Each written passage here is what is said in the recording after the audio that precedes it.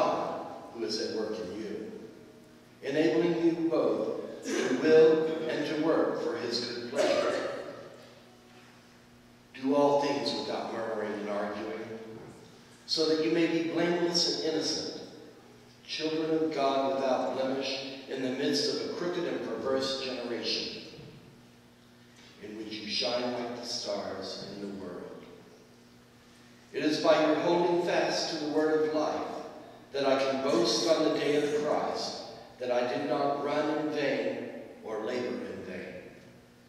But even if I am being poured out as a libation over the sacrifice and the offering of your faith, I am glad and rejoice with all of you.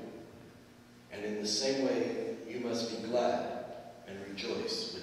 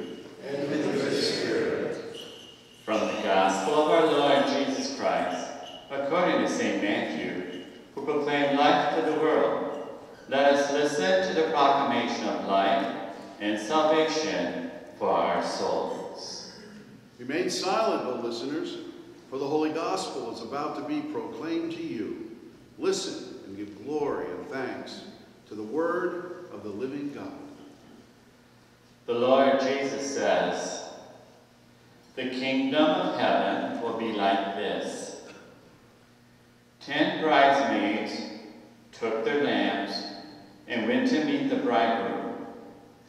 Five of them were foolish, and five were wise.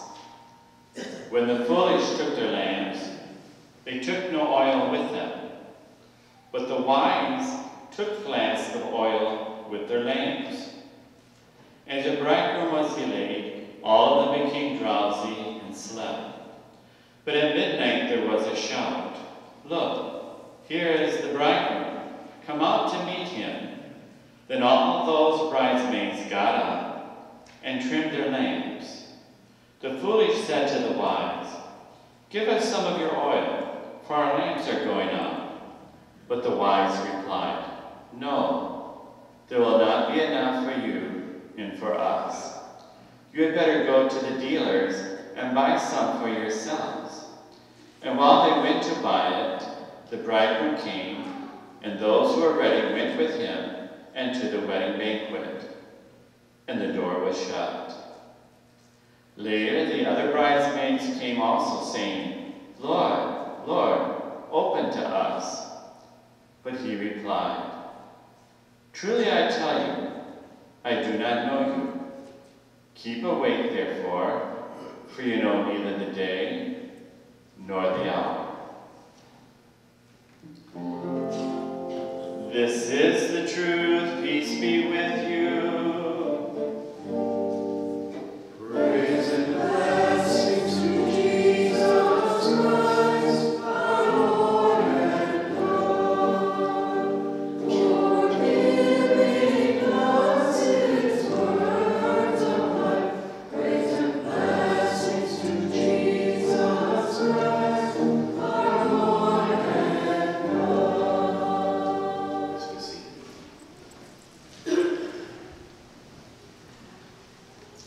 Important to understand some of the setting behind the foolish bridesmaids. First, they were asked if they would like to be a bridesmaid. And if they didn't want to, they could say no. They said yes. And the reason why they're labeled as foolish is because it was understood that one of the chief important part of being a bridesmaid at this time was to make sure that they had enough lamps in the darkness for people to find their way to the groom's house or vice versa. There was no such thing as streetlights at this time, and the darkness was always something that people were afraid of. That's when the thieves were out, that's when evil things happened in the darkness of the night, and the light was to protect people on their way and on their traveling. And for some reason or another, them chose not to bring extra oil. One of the parts that always puzzles me, even though I might know the answer or know the answer and have thought about it, is, and it has to be re-answered many times, is why did the wise bridesmaids say no and not let them use some of their oil? It doesn't seem like that should be that much of a problem, that surely God would understand that the reason that they ran out was because they gave it to somebody else. And it seemed like a very nice thing, a very good thing to help with it. But the problem with that is, like for instance, when you fly on an airplane, they tell you to put the oxygen on yourself first before you help someone else. You know, it's your instinct to hurry up and give your child or somebody else oxygen before you take it yourself. But the problem with that is that what if you can't do it quick enough? Or you run out of oxygen before that happens. I think you understand the dynamics that are going on, but the same kind of dynamic is kind of here. In a variety of ways. One, there reaches a point in life where we can't bail out the other person. There also comes a point in our life where we can't get away with not doing what we're supposed to do. That sooner or later we have to be responsible and will be held accountable. And we reach a point where our parents or somebody or bribery or whatever it is can't rescue us. Because our real character cannot be disguised and hidden forever. And these bridesmaids, you know, I'm just conjecturing, it doesn't literally say this, but maybe they always wanted to be right up there in front, but never wanted the work. Wanted their name written down as somebody on the program sheet, but were never going to fulfill their responsibilities. They're very good at controlling and manipulating to get position, but they can't do the job. I think anybody who has worked at all in their life have run across this type of personality. Priests who would, don't do their job, teachers that find somebody else to cover for them, people at the company where one person slacks off but is a good friend of the boss so they get away with it and we have to cover for them. The list goes on. You know, even within families, there's the one child that seems to be the most clever and not being available to help do the dishes. That was never me, of course. My trick was to uh, not remember that there was still some uh, pots still on the stove. But I always had a younger, older brother that reminded me, uh, there it is. And that's important. It's very important, according to our age, that we are called to task, challenge. We may not like it. Sometimes it might be embarrassing. But if we want to have a healthy, mature attitude towards life, somewhere along the line we have to quit depending on somebody else to cover for us. And that's not easy to do. Especially if you've grown up being able to get away with it. And as I've said in the past, it's a little complicated in today's world to know where that point is where we are enabling another person to take advantage of others or challenging them. Sometimes it causes, we don't want the embarrassment that goes with it. That instinct has probably been the most destructive thing that has happened to the Catholic Church in centuries, covering up for wrongdoing to escape the embarrassment.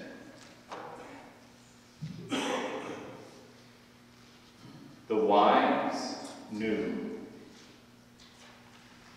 that they should not cover up this particular time for their irresponsibility.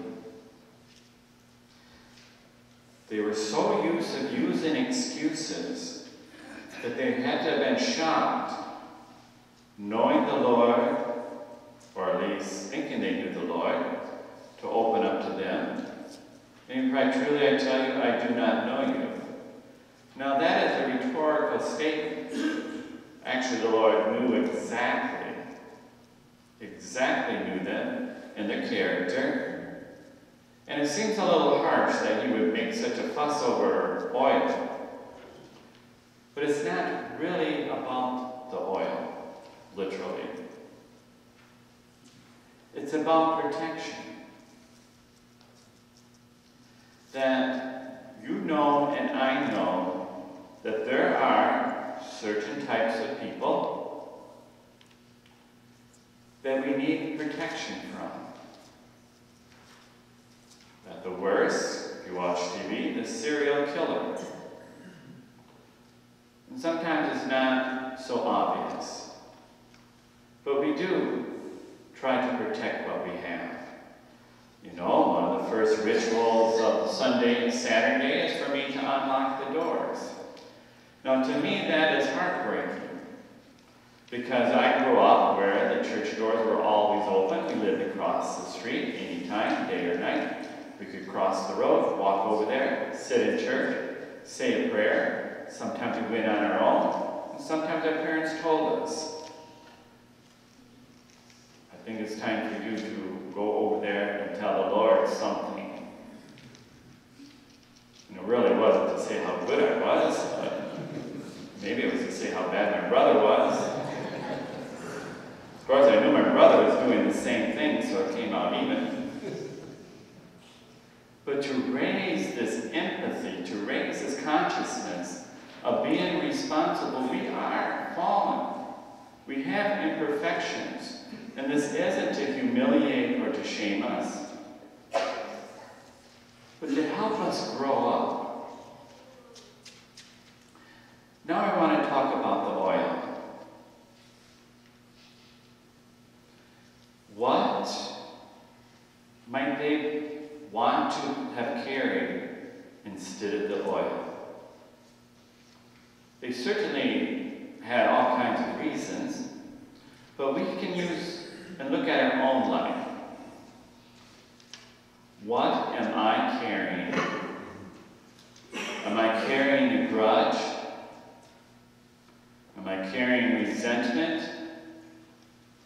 Am I carrying an attitude of superiority and looking down on others? If I look up and turn my life and open up, do I find that I'm still burdened with the weight of something horrible that has happened in my life? Something that may have been said to me 50, 60 years ago? Or am I carrying the oil that makes the light of Christ bright in my life? Am I carrying forgiveness? Am I carrying compassion? Am I carrying something that makes the world a better place or a worse place?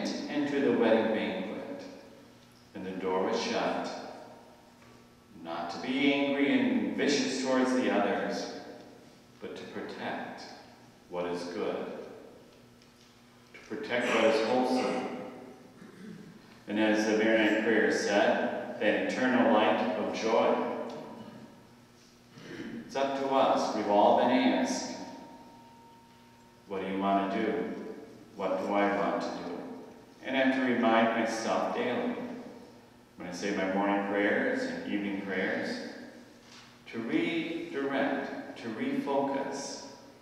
We all get drowsy. In fact, have you heard this before? Take a two second nap. No, I'm kidding. Wake yourself up. What do you want to hear? The darkness of the world or the light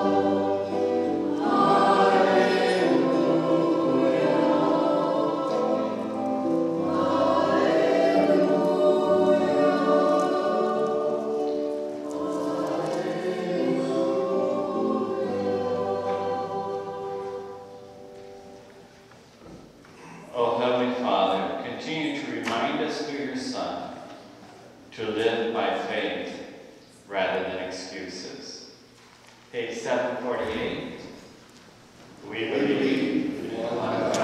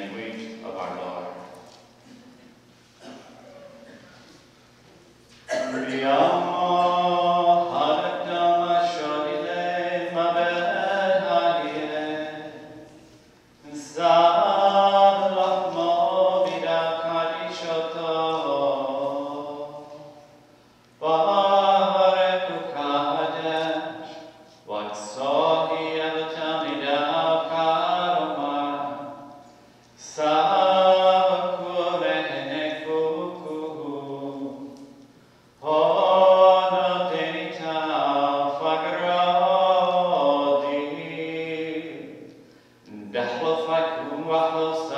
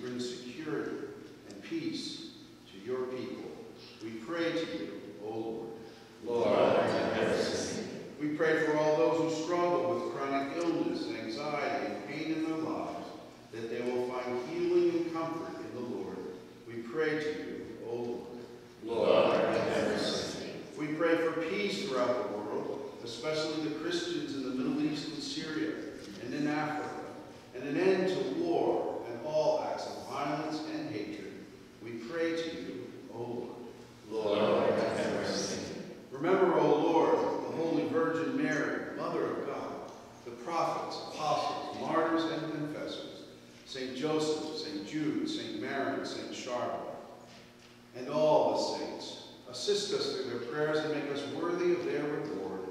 We pray to you, O Lord. Lord, have mercy. Remember, O Lord, the righteous fathers and teachers who have gone to their rest among the saints. Remember those who diligently carried your gospel throughout the whole world and confirmed your holy church in the true faith. Assist us through their prayers and strengthen us in your love. We pray to you, O Lord. Lord, have mercy. Favorably, remember, O Lord, our parents, brothers, sisters, teachers, and all the faithful departed here and everywhere who have gone to the rest, especially Kathleen and Robert.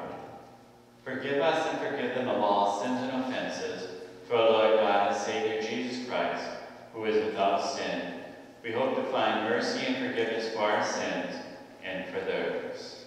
Grant us, Lord God, to the party, and forgive the sins we have committed, with and without full knowledge.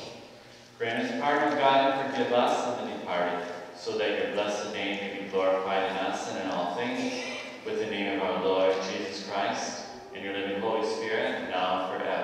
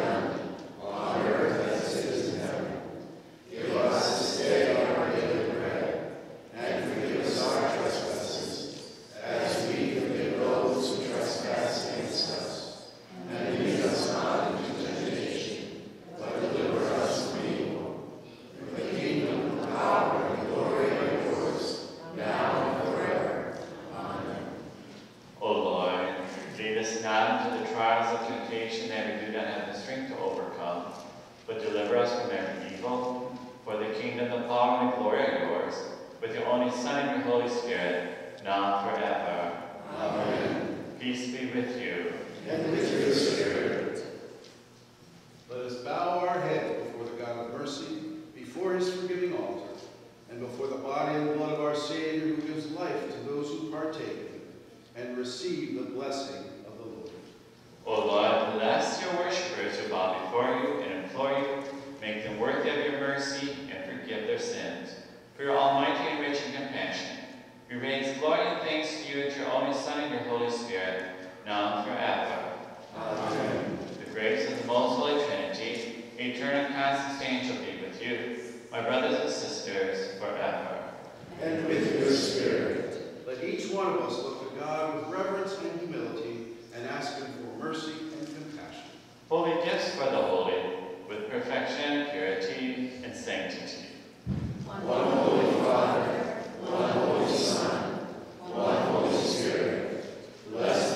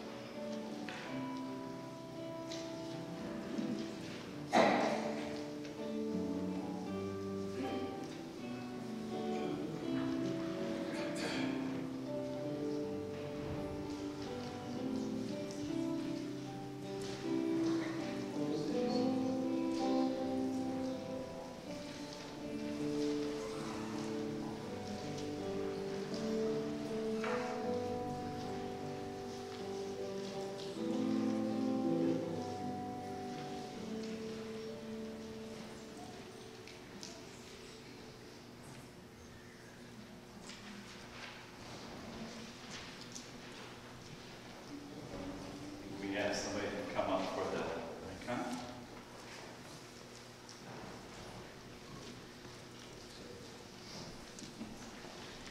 May the prayers be safe and vocations